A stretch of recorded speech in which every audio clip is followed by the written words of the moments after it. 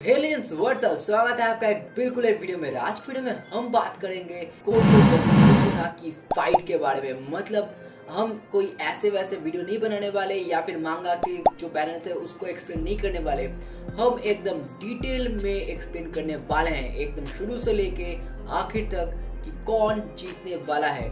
हम ये भी बोलेंगे कि शुरुआत ये कहाँ से हुआ था, इन दोनों के फाइट्स के बीच। और हम ये भी बोलने वाले हैं कि आगे जाके कौन जीतेगा। और इसका पूरा डिटेल और डीप रिसर्च करके हम इसको एनालाइज करके इसका फाइनल रिज़ल्ट बोलने वाले हैं। और इसी कारण से हमने इस टॉपिक को फोर पार्ट्स में डिवाइड कर के रखा है। और तो इस वीडियो में हम पहले दो पार्ट्स को कवर करेंगे और एक अलग सा वीडियो बनाएँगे लास्ट दो पार्ट्स को कवर करने के लिए। नहीं तो ये वीडियो बहुत ही लंबा हो जाएगा और लोगों को देखने में उतना मज़ा भी नहीं आएगा। इसीलिए फ़र्स्ट दो पार्ट्स के लिए रेडी हो जाइए। तो हिस्ट्री में अगर हम पीछे जाए मतलब अगर जुत्सु काइसेन के सीज़न वन में जाए तो हमारा सबसे स्ट्रॉन्गेस्ट सॉसरर सातोरु गोजो और जो हमारा जो सबसे स्ट्रॉन्गेस्ट मतलब सॉसरर तो नहीं वो पहले सॉसरर था the king of curses Sukuna वो पहले मिले थे काइसेन के सीज़न वन के सेकेंड एपिसोड में। और जहाँ पे कोचो डायरेक्टली सुकुना को टेस्ट करता है कि वो कितना पावरफुल है और वो तब ये भी बोलता है कि क्या तुम सुकुना में बदल सकते हो? सुकुना तो फिर तुम मुझे दस सेकेंड दो। टाइम खत्म होते ही तुम वापस बदल जाना। उसके बाद वो फाइट करते हैं और देखते हैं कि उसके पास कितना पावर्स है।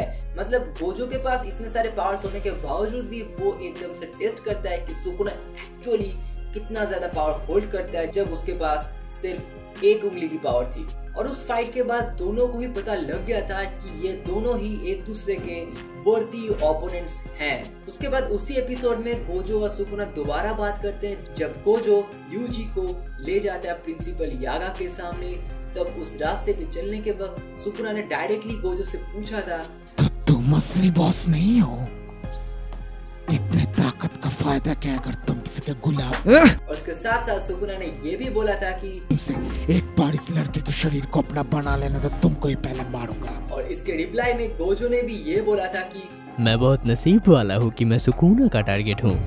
और अगर हम इंग्लिश वाले फ्रेज की बात करें तो वहाँ पे क्लियरली लिखा था it's an honour to be a target of Sukuna. और ये वाला फ्रेज दोबारा रिपीट होता है मांगा चैप्टर 221 में। और ये जो रिपीटेशन है, इससे बहुत सारे मांगा फैंस कनेक्ट भी हुए, क्योंकि वो जो पहले वाला फील था, वो उसमें सब लोग वेट कर रहे थे कि कब सुकुन और गोजो एक्चुअली फाइट करेंगे और हमें पता लगेगा कि कौन सबसे ज़्यादा स्ट्रॉन्गेस्ट है।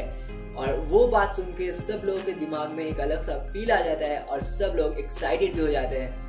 और हम तो देख ही सकते हैं कि अभी का जो बैटल चल रहा है, वो कितना खतरनाक है। तो ये था उन लोगों का बैक स्टोरीज इससे हटके मैं एक चीज़ और बोलना चाहूँगा ये एक मेरा स्पेशल थ्योरी है कि कोचो सिर्फ़ अकेला एक बंदा है, जो इतादोरी को वो उंगलियाँ खाने दे रहा है। नहीं तो हायर जो थे, वो उंगलियाँ अपने पास रख रहे थे। लेकिन गोजो सिर्फ़ अकेला बंदा था जो इतादोरी को ही डायरेक्टली उंगलियाँ जब भी मिलता था, उसको खिला देता था। क्योंकि ऐसा हो सकता है गोजो अंदर ही अंदर जानता है जब सुकुना के पास सारे उंगलियाँ हो जाएँगे, तब वो बाहर ज़रूर निकलेगा और तब गोजो उसको हरा के छोड़ेगा।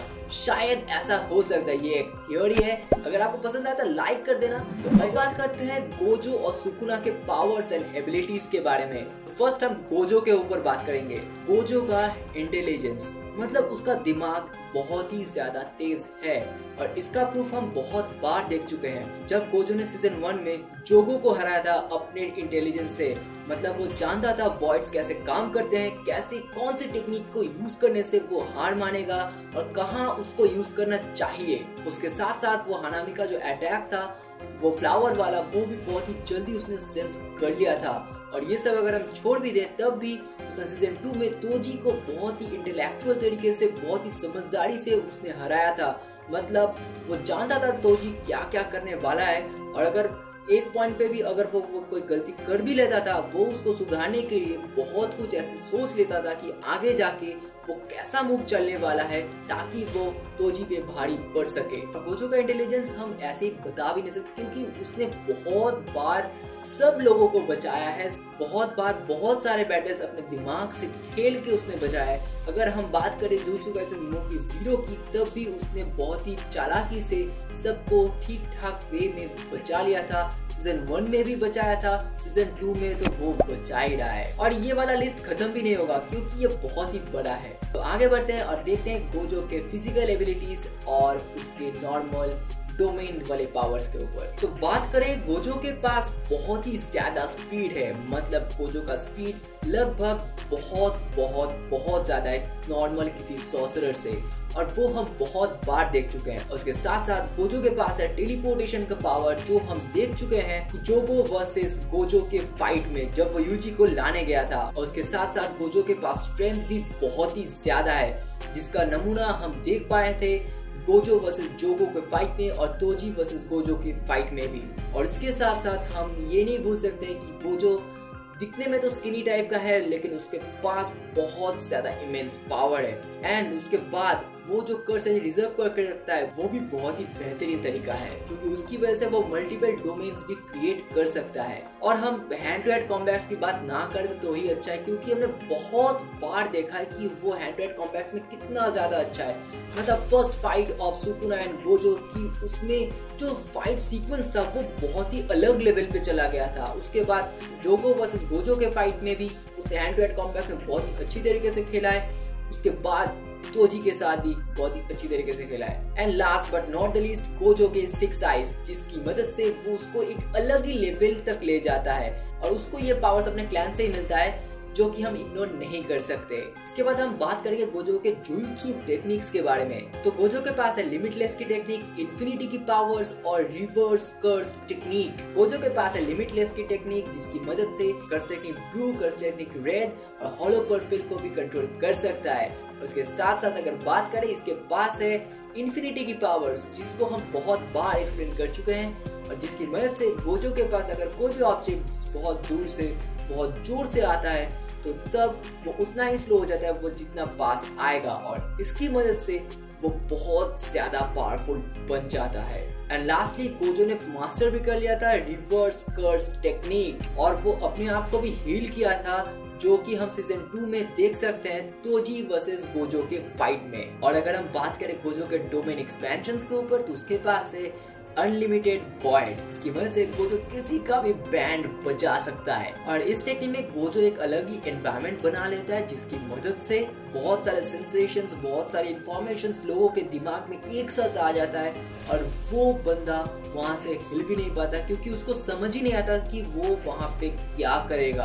और लास्टली गोजो इन सारे एबिलिटीज को बहुत ही बखूबी से, बहुत ही ज़्यादा अच्छी तरीके से हैंडल कर सकता है। और हम कह सकते हैं कि गोजो इन सब में बहुत ही ज़्यादा माहिर है। और इसी कारण से गोजो मोस्ट पावरफुल या फिर कहें तो स्ट्रॉन्गेस्ट सॉसरर है ऑफ़ जुत्सु काइसन इसके बाद बात करते हैं ह्यूमन सुकुना के पावर्स एंड एबिलिटीज के बारे में। सुकुना की बात करें तो सुकुना बहुत बहुत ही ज़्यादा इंटेलिजेंट है गोजो से भी, क्योंकि उसको हर एक चीज़ का नॉलेज है। कर्सेस कैसे काम करते हैं कर्स टेक्निक कैसे काम करते हैं जुजुत्सु सॉसरर्स क्या करते हैं, क्या नहीं करते हैं। और सबसे बड़ी बात एक्सपीरियंस मैटर्स द मोस्ट हम एम एस धोनी को तो देख ही सकते हैं कि उसके एक्सपीरियंस की वजह से वो कितना ज़्यादा पावरफुल है और सेम सिमिलर टाइप हम इस पर अगर अप्लाई करें तो सुकुना भी बहुत ही ज़्यादा एक्सपीरियंस्ड है और इसी कारण से सुकुना उसके एक्सपीरियंस को लेके अपने पावर्स के साथ अगर मिक्स करे तो वो बहुत बढ़िया एक इंटेलिजेंट आदमी है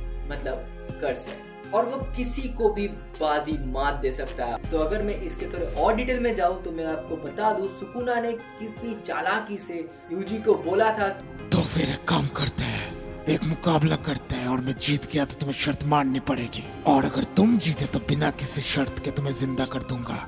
और यूजी एज यूजुअल वो राज़ी भी हो जाता है क्योंकि वो ओवर कॉन्फिडेंट था और सुकुना को पता था कि यूजी हारने वाला है। और हम देख भी पाए थे कि सुकुना ने उसके सिर को दो टुकड़े कर दिए थे। ये तो सिर्फ़ एक एग्ज़ाम्पल है। ऐसे बहुत सारे एग्ज़ाम्पल भरे पड़े हैं, जहाँ पे सुकुना अपनी इंटेलिजेंस से सबको मैनुपुलेट भी करता है। हम आगे भी देखे थे और आगे भी देखने वाले हैं। और अगर बात करें सुकुना के फ़िज़िकल एबिलिटीज के बारे में तो सुकुना के पास है इनक्रेडिबल स्ट्रेंथ बहुत बेहतरीन रिफ्लेक्स रिसाइलेंस और सबसे बड़ी बात, इसका बहुत ज़्यादा कर्स एनर्जी स्ट्रेंथ की बात तो हम बहुत बार देख चुके हैं कि वो कैसे फ़र्स्ट एपिसोड में एकदम, जब उसके पास सिर्फ़ एक उंगली की पावर थी, तब उसने कैसे उस मॉन्स्टर मतलब कर्स को हराया था, एकदम फ़र्स्ट एपिसोड में जब हमने देखा।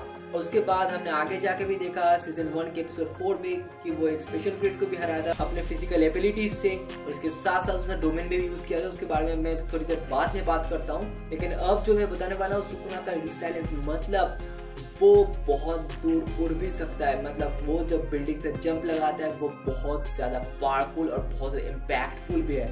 और उसका जो फ़िज़िकल एबिलिटी है, वो तो हम बहुत बार देख चुके हैं। जब वो मेगुमी के साथ फाइट करता है, तब हम देखे थे कि वो कैसे अपने पॉकेट में हाथ रख के उसने फाइट कंटिन्यू किया था। मतलब वो जस्ट खेल रहा था उसके साथ। उसके बाद भी बहुत सारे ऐसे जगह थे जहाँ पे उसने हमको दिखाया कि उसके पास एक्चुअली कितना ज़्यादा ताकत है।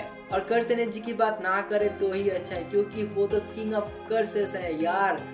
वो उसके पास कर्स एनर्जी भर भर के नहीं रहेगा तो और किसके पास रहेगा? और सबसे बड़ी बात, उसका इंटेलिजेंस का एक और पॉइंट मुझे याद आ गया कि आप जरा नोटिस कीजिएगा, जब एपिसोड फोर में सीज़न वन के मेगुमी के साथ जब वो फाइट कर रहा होता है एंड में उसने कहा था, तुम्हारे शिकिगामी वो परछाई से बने है ना?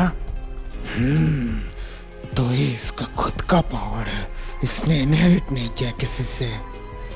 मुझे बस एक चीज़ समझ में नहीं आया। तुम तो भागे क्यों थे?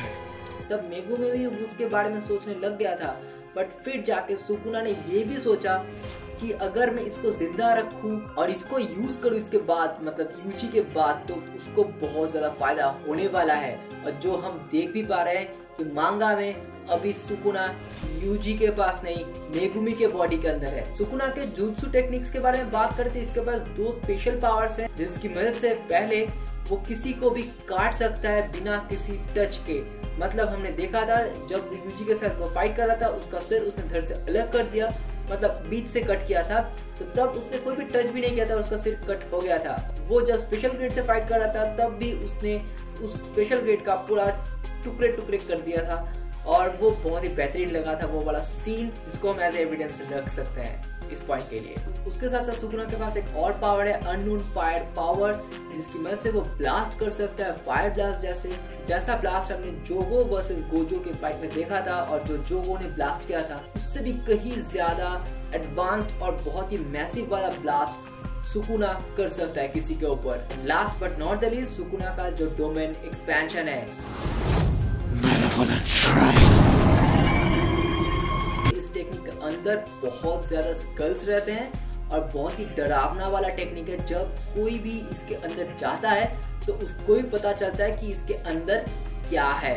मतलब सुकुना वहाँ पे बैठा हुआ होता है और भाई, बहुत ही खतरनाक टेक्निक है। मतलब बहुत खतरनाक डोमेन है। सो so गाइस आज की वीडियो बस इतना ही। मैंने बहुत ज़्यादा लंबा वीडियो अभी तक तो बना दिया है, क्योंकि मुझे लगा था कि ये वीडियो लंबा भी होगा। एक्चुअली सुकुना वर्सेस गोजो, जो एंटिटी है ना दो तो वो बहुत ही बड़े बड़े एंटिटीज हैं और बहुत ही बड़े पावर लेवल होल्ड करते हैं। और इसको हम एक वीडियो में समझा नहीं सकते तो वो वीडियो बहुत ही लंबा चल जाएगा और कोई भी नहीं दिखेगा। इसीलिए अब हम इसको यहीं पर ही एंड करेंगे। और अगले वीडियो में, जो मैं दो तीन दिन में अपलोड कर दूँगा इस वीडियो के बाद तो उस वीडियो में मैं बताऊँगा कि सुकुना और गोजो का जो फाइट है, मांगा में चल रहा है, उसके ऊपर थोड़ा बात करेंगे और फाइनल रिज़ल्ट भी बोलेंगे कि अब एंड में कौन जीतेगा?